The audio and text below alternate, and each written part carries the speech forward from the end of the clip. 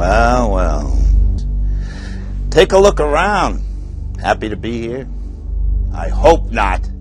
I hope to God not. The work has just begun.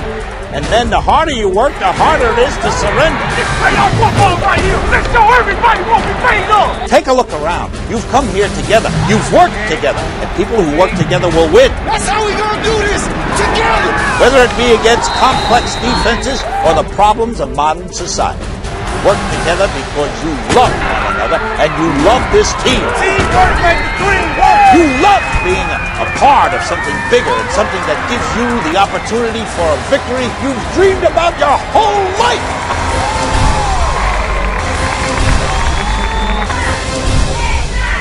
It may sound funny, but by coming together, you've separated yourselves. Mere fact you're still playing proves that. Prove something else. Prove how much you want.